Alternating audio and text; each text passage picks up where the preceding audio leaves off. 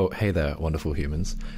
I'm going to give you a sneak peek inside Edu-Creator OS. I'm childishly excited and a little bit nervous because it's not quite finished yet, but we're going to dive in anyway. So, when you download it, there's two main sides to it. The first is the creative process, where you'll be taking information from the World Wide Web and putting it into action in projects at the bottom of the process.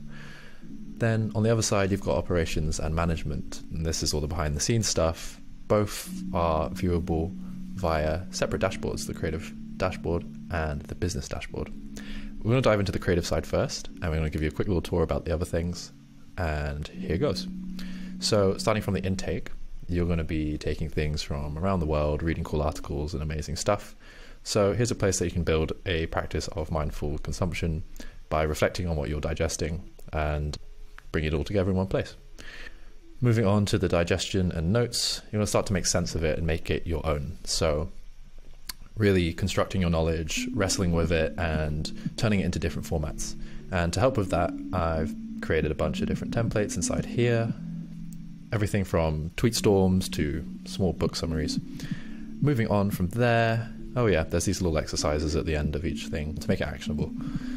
And going on from there, teaching resources. So you've wrestled with your knowledge a little bit, you've had some discussions with your team about what a certain thing is or isn't, and then you're going to collect your teaching resources here. These are finalized things like diagrams and slide decks and all the cool stuff, worksheets and videos. Then we're going to start to weave that together into projects. Now, I've created a couple workflows here, but your team or you might just need separate ones. And I'll record a separate video about that later, setting that up. Right now, I've got a video production workflow, a workshop creation workflow, and here's the one that I'll be using in the, the tutorial, the online course workflow. But this is all working off of the same database. And that database is viewable at the bottom of some of these pages. There's a configure thing, and you can set up the different workflows, and then just close that. And then, with a little bit of wiggle, you'll create these cute little workflows. So if I go into one of the projects here, let's say the video production workflow, and click the templates, you can see there's a bunch of templates there from online courses to new podcasts and interviews. You may have already seen the online course template, but we're going to jump into it again. You've got stuff in here from setting the learner transformation and course objectives, uh, empathy maps, and curriculum outlines. This has helped a few people I know before the launch to get their team together and on the same page, keep all the assets and all the stuff in the right place, and then move this along the the project's flow. So everyone can stay coordinated as you're creating these things. Moving on, this is all tied into the creator's dashboard. Um, this is just the high level of everything that's moving from your intake to your projects. You can set what content is coming up and what's falling behind.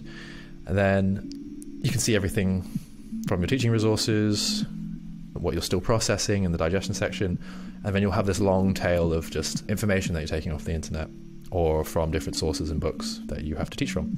So that's the creator side.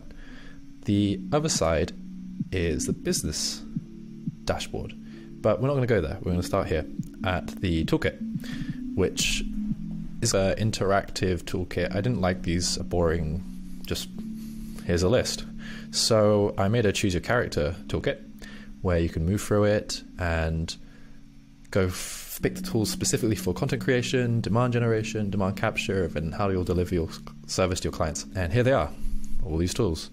From there to demand generation, I've separated that into channels and then like your mailing system, which one do you want to pick, what do you want to use, and you'll go through this and basically click active, which will display it in different dashboards around the product.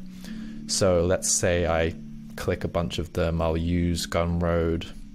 This will be shown to me in different dashboards. I'm going to stop using Gumroad one day and then I can remove it from the subscriptions tracker, for example. So here's this toolkit keep storing all the good things you use here, and you'll get this readout at the end, which basically says, hey, these are all the cool tools you're using. Toolkit. Next thing, business dashboard. So right now, the Notion API hasn't come out. So I've left here the two main Notion metrics tools and also a bookmark for your Google Analytics link so that you can have your dashboard right in front of you. In future releases, when the API is out, we will send you an updated version of this dashboard so you can use it uh, with some automations that we'll be creating walkthroughs for so that you can have all of your data streams running into one amazing place once the API is released. The next part is goal setting. I like to use agile results, which is free wins for the quarter, free wins for the week, and free wins for the day. But you might want to do OKRs, and that's okay. Then you've got these different business areas and key resources. The key resources are related to different business areas. That's fun. A business area example here is the products and services section. If I jump into here, then I can see all the different products and services that we offer, the courses that I have, and if that was a gallery view, it would be so much prettier. So let's do that. And then also, feedback. Here we can see what product decisions we want to make or where we want to make improvements. So that's just one of the sections there. Scrolling down, finally, we have the topics area in the business dashboard, which is basically just what you're going to be teaching. In there, there will be different contextual dashboards showing you what you're intaking based on that topic, what you're uh, digesting based on that topic, and what resources you have on that topic. I'm going to jump to the business resources and just show you a couple of those real quick. My favorite one so far, just because it's been a kind of act of love and passion and creation of mine, is creating this cute little learning experience design guide. This is really just an overview of learning experience design, some principles, and also some tips on great learning and great teaching.